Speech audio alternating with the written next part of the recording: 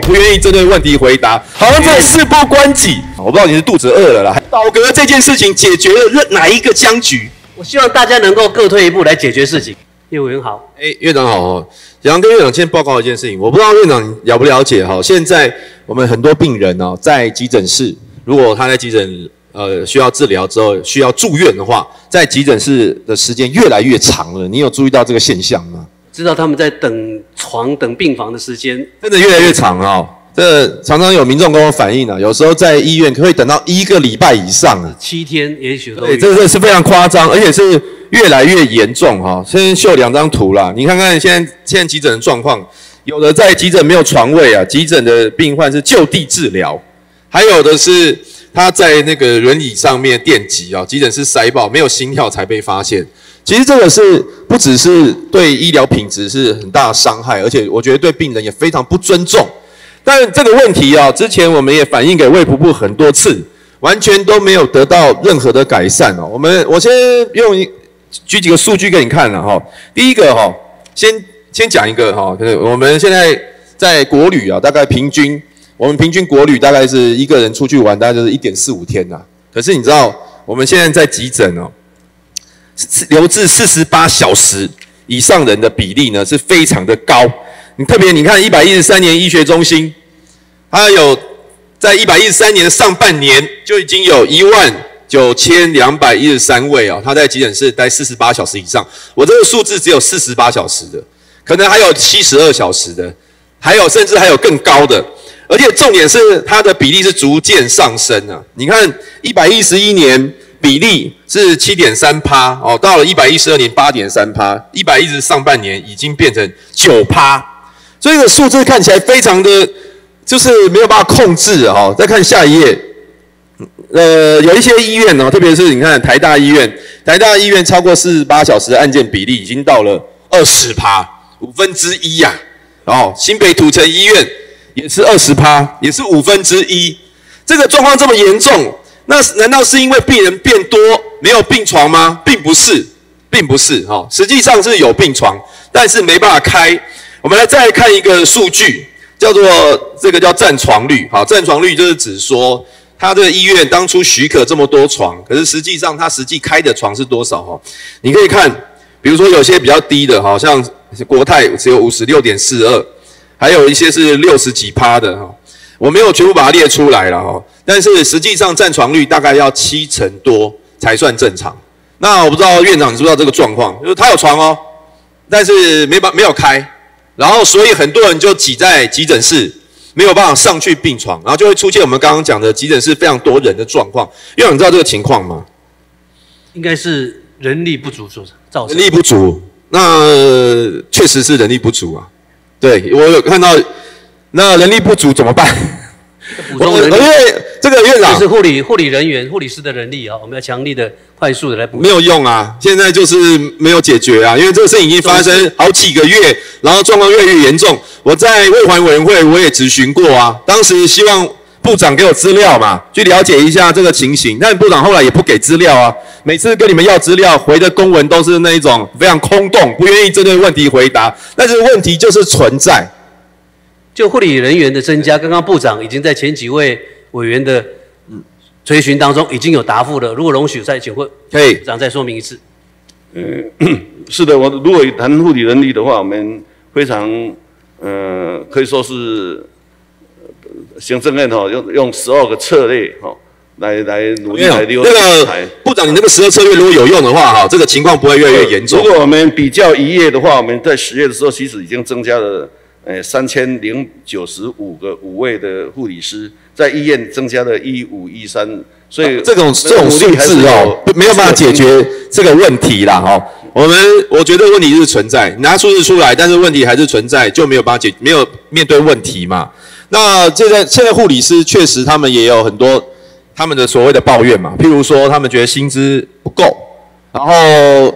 还有就是，比如说没有因应护比护病比来调整床数的配置啊，这个是护理师他们所提出来的。那我觉得这个最后可能可能也会归咎归因到一个问题啦，就是现在的健保点值就是比较低嘛。你现在一点大概本来应该要一点一元但是实际上现在可能是一点只有零点六元，所以可以看得出来哦。啊，对，一点六元啊，也有零点六、零点七都有啊。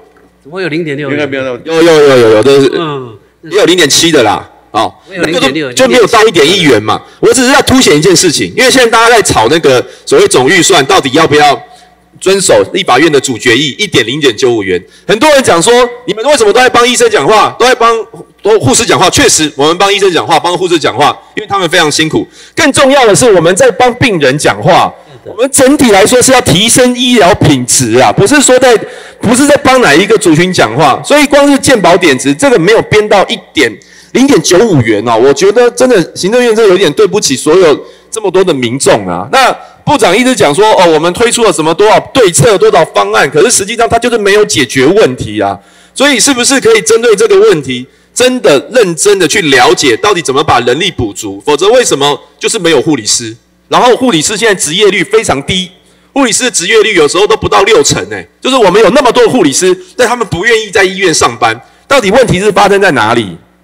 所以这个部长你要去了解。我想这个护理留任哈，这个部分有很多复杂的意思，我们一个一个会多努力来解决。那至于急诊的用在这个部分哈，可能跟医疗体系也有关系。比如说你去问台大医院的院长，他绝对说他他并没有关任何床，他你看他的他等四十八小时的就已经刚刚你提出的就二十 percent 哦，所以这整个医疗体系的分流分级也是要去我们大家一起来努力。我相信都可以解决急诊拥塞的问题。这个现在不是在精神喊的人力需要不然那么大。现在不是在精神喊话，好，我们一起来努力啊！我们怎么样怎么样？现在问题就在这边。也许几个月后，我们同样一个问题还是继续发生，然后你讲一样的话，但是问题没有解决。我们现在只是希望说，我们可以把这个问题解决，就这样而已，并没有什么责难意思。但是我们发现说，好像卫福部在这个部分其实是非常的缓慢。那如果说没有什么。好的对策的话，那你把健保点数按照立法院决议，把它变成一点零点九五，搞不好这个问题也可以舒缓一些嘛。这看你愿不愿意做啦，好不好，部长？不，嗯，报告委员，我们去年这一季，就今年第一季、第二季，其实平均点值在医院或者在那个都大概都将都有到零点九了哈，所以这个部分可能要澄清一下。第二个就是，其实在明年的健保这个部分，其实行政院也给我们最大的有史以来。最高的成长力哦，以及所以到达五点五，所以这个部分就已经到达九千两百亿以上，这是破有史以来最高的哦。但是已经非常尽力，所以可见，所以可见一点零点九都不够啦，一定要到一点一元呐哈。但是因为行政院不愿意嘛，所以主决议是零点九五嘛。不是愿不愿意，我们一既要维持点值，又要并行总额。那总额跟点值这样算起来，如果一点一元的话，那总额制度就完全破坏掉了。我不是认为说不应该，我们会愿意朝一点一元去进前进去迈进，但是这个总额制度的保障，我们还要设计跟精细的设计。对啊，因为这个点数的问题，其实上会议大家都协商过了，其实三长都签字，然后当时卫福部有派代表，那现在又讲另外一套，我尊重了，好不好？那谢那谢谢部长哈。那下一个问题啊，我想问一下，因为今天。环境部也在嘛？问一个近邻的问题，因为我今天有媒体有报道哈，就是外国媒体有专访院长，院长有提到说，为了满足 AI 的产业的发展，所以对采用新的能源技术非常开放。好，然后第二点是说，只要台湾内部对于核能安全有共识的话，以及处理核废料的问题有好的方向及保障，那院长觉得采用这。新能源，所谓的新核能呐，好，你是愿意接受的嘛？哈，应该是这样，有没有误解你的意思？新的核能技术，新的跟传统，请问一下，什么叫新核能技术？就是说，跟传统现在我们的旧有的核能电厂的技术是截然不同的。我早上有举个例子，燃油车跟气电跟电动车，比如说什么？啊？你刚比如说什么？我早上举个例子，对，燃油车跟电动车就完全不同的新技术。是，没有啊？你未来我现在的技术的进步。现在世界各国都在极力的开发当中，哪一个开发当中？它未来的商业模式。这样有讲跟你看有讲跟没讲一样啊。旧呃新的就是相对于旧的，我当然知道啊。但是因为你说新新的能源就我你因为你是院长嘛，所以你讲的话一定就有前瞻性啊。你有研究过嘛？请问一下什么是新核能技术？比方说二零三零年之后，嗯，可能比尔盖茨他手上正在研究的。什么？那个所谓快中子有可能成功，可能成功，可能成功，我们现在还不知道，不知道有可能成功，有可能成为一个商业模式，成本这整个过程我们都可以的话，我们当然愿意去开放讨论，甚至用一种新的方式来那研究你。那你讲这个有讲跟没讲有什么差别？我讲没讲我讲跟不觉没讲我不知道你讲这个有讲你又说我有什么意义啊？哈，第二个哈，你说只要台湾内部对于核能安全有共识，还有处理核废料，我我觉得你讲这句话哈，感觉很像你在大树底下跟人家聊天，你知道吗？不是或或者是你是局外人，我我们讲觉得过很多次了，这个是一个先决的条件。是啦，院长，因为你是行政院长哦，按照宪法规定，您是最高行政首长。核废料的问题是你要解决的问题耶，核能安全问题是你要解决的问题。你怎么可能说哦，在接受媒体访问的时候，哎，只要核能安全可以解决或核废料可以解决，我就采用核，好像这事不关己。你在台台新北市，你知道核废料的处理，新北市政府也要协助吗？有啊，所以他现在干式储存槽已经盖，已经已经放了嘛。但是院长，你知不知道为什么他当时干式储存槽不太愿意放？你知道为什么吗？大家对核能的使用，你知道为什么？不是，是因为新北市非常害怕，到时候台电把核废料永久放在新北市的永干式储存槽里面。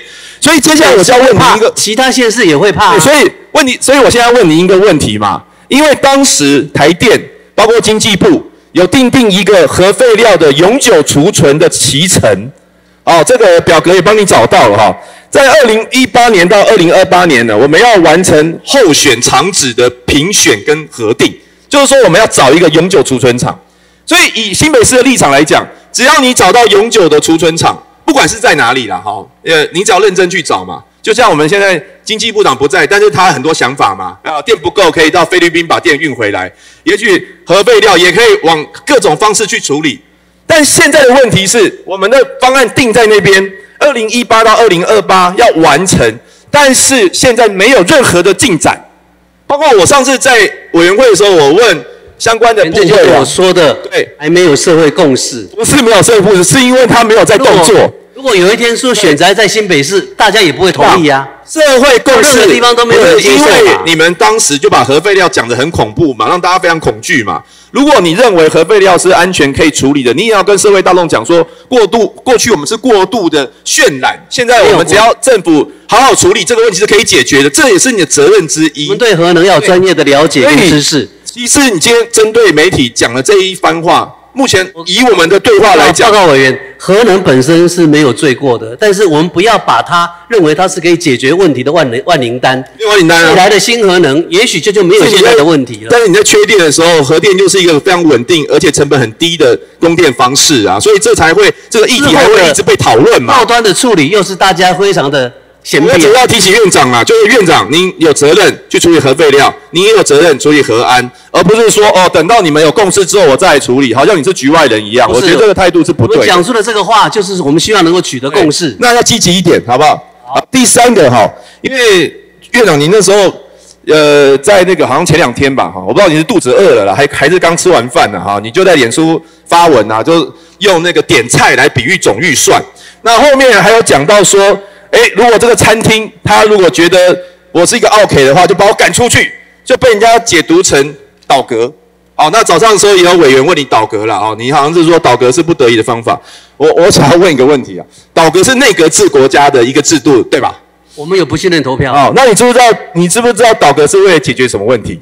为了解决僵局，对不对？跟立法院之间对僵局嘛。然后为什么要倒戈？因为要诉求最新的民意来决定到底谁是对的嘛。现在在野党觉得要依法编列预算，行政院认为不能依法编列预算，没有有几个行政院没有说不能依法，行政院也觉得要依法没有依照编列预算，禁法补偿条例嘛，没有依照主决议嘛，你们就不想这样做没？有依照预算法九十一条。好，然后呢，现在呢两边有争议，那我们让民众来决定，所以解散国会，大家重选，选出来蓝白的立委不只是六成八成，然后院长结束了，解决问题了吗？没有，因为总统赖清德继续提另外一个人当行政院长，比如说提名陈时中当行政院长，陈时中继续不依法编列预算。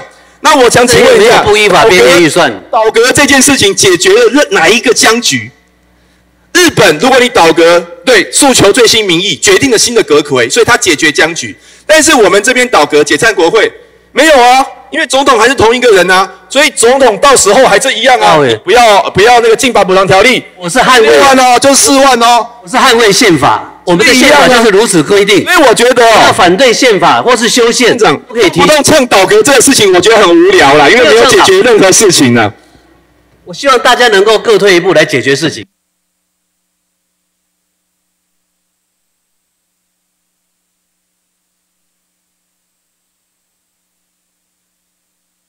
如果你喜欢这支影片，欢迎按赞、分享，并订阅我的 YouTube 频道“叶原之原汁原味”，记得开启小铃铛哦。